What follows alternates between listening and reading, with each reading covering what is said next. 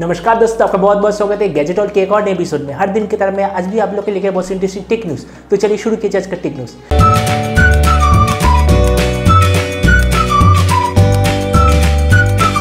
आज बहुत दिनों बाद मतलब लगभग एक साल के भी ऊपर हो चुका है, इसके बाद एच टी अपने एक नया स्मार्टफ़ोन लॉन्च किया है, जिसका नाम है H T C wild fire x वैसे इसमें ट्रिपल कैमरा सेंसर और भी बहुत सारे फीचर है, और इसका जो थ्री जी रैम और थर्टी टू जी मेमोरी है, उसका प्राइस है दस हज़ार, और जो फोर जी रैम और one twenty four G storage है, उसका प्राइस है तेरह हज़ार। लेकिन इसका जो प्रोसेसर है, वो है हीलियो पी ट्वेंटी टू इसका स्क्रीन है एच डी प्लस इस जगह पे HTC पूरा मार खा जाता है, क्योंकि इस प्राइसेस में और भी दस हज़ार के अंदर और भी बहुत सारे स्मार्टफ़ोन है जो कि इससे कई गुना ज़्यादा बेहतर है।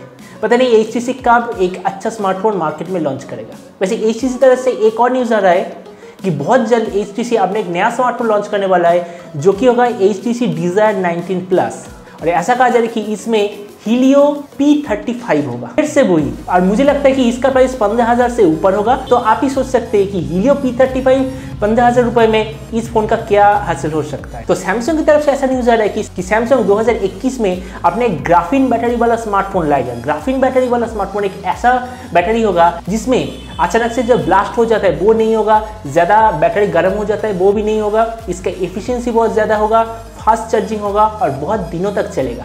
तो देखते हैं कि सैमसंग अपने ऐसे स्मार्टफ़ोन वाला बैटरी कब लाता है और मुझे लगता है कि शायद एक गैलेक्सी नोट 12 में आएगा। तो देखते हैं कि सैमसंग आखिर कौन से स्मार्टफ़ोन में ऐसा बैटरी लाता है। अगला न्यूज़ है हुआवे मेट 30 और मेट 30 प्रो के बारे में। तीन सर्टिफिकेट साइड में इसका लीक भी हो चुका है और ऐसा पता चल रहा है कि जो हुआवे मेट 30 और मेट 30 प्रो उसमें होगा किरिन 985 जो कि 980 का एडवांस्ड वर्जन है। और ऐसा कहा की जो हुआ मेट 30 प्रो है, उसमें ट्रिपल कैमरा सेंसर होगा, लेकिन उसमें दो सेंसर 40 मेगापिक्सल वाला होगा। मतलब दो 40 मेगापिक्सल सेंसर और एक और जो थर्ड कैमरा वो कोई दूसरा सेंसर होगा। तो देखते हैं कि हुआवे अपना ऐसा स्मार्टफ़ोन कब लॉन्च करता है और इस बार अपने स्मार्टफ़ोन में कैमरा क्वालिटी कितना बढ़िया देता है। क्योंकि Huawei versus US government problem चल रहा है, इसीलिए एंड्रॉयड का जो सपोर्ट वो हुआ के ऊपर से कभी भी हट सकता है।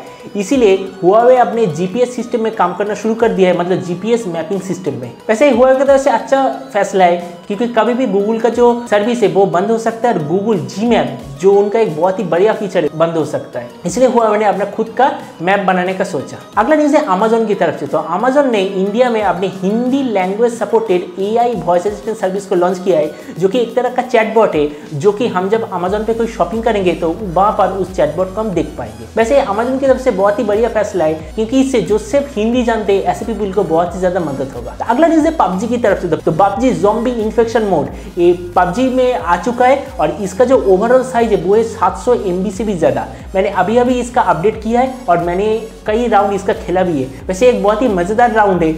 आप इसे ज़रूर खेल सकते हैं। अगला न्यूज़ है गूगल की तरफ़ से। तो गूगल असिस्टेंस वॉइस बैंकिंग नाम का एक फीचर बहुत ही जल्द हमारे स्मार्टफ़ोन में आ जाएगा।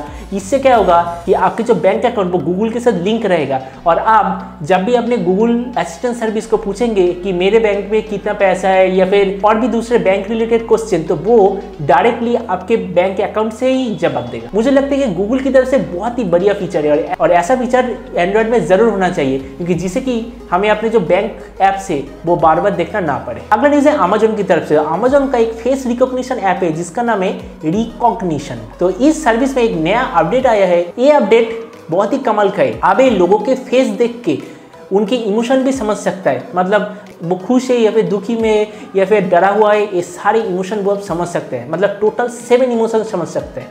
तो समझ सकते हैं कि एआई सिस्टम कितना आगे पहुँच गया है। कि इंसानों के फेस देखकर इनके मन की हलचल भी जान सकता है। अगला न्यूज़ है म्यूजू से। तो म्यूजू 16 एस प्रो ये सर्टिफिकेशन साइड में आ चुका है और इसमें स्नैपड्रैगन 855 प्लस और सिक्स जीबी रैम और इसका जो कमाल का फीचर है, वो आप स्क्रीन में देखिए। टू स्कोर में अब तक का सबसे हाईएस्ट स्कोर इस स्मार्टफ़ोन में किया है कि मुझे लगता है कि ये प्रोसेसर और सॉफ्टवेयर ऑप्टिमाइजेशन के ऊपर एक बहुत ही बढ़िया स्मार्टफ़ोन होने वाला है। अगला न्यूज़ है वन प्लस की तरफ़ से। तो आखिरकार वन प्लस अपने वन प्लस टीवी लॉन्च करने वाला है और वन प्लस ने अपने जो टीवी का नाम है, वो नाम दिया है वन प्लस टीवी मतलब एकदम सिंपल नाम है। और ये बहुत ही जल्द लॉन्च होने वाला है। अगले दो महीने के अंदर ये लॉन्च होगा। तो मैं तो टीवी के बारे में बहुत ही एक्साइटेड हूँ कि आप भी इस टीवी के बारे में एक्साइटेड है? मुझे नीचे कमेंट सेक्शन में ज़रूर बताइए। तो आज का टेक न्यूज़ यही तक उम्मीद आज का न्यूज़ आपका पसंद आया होगा। अगर वीडियो आपको पसंद आया तो इसे लाइक और शेयर करना मत भूलिएगा।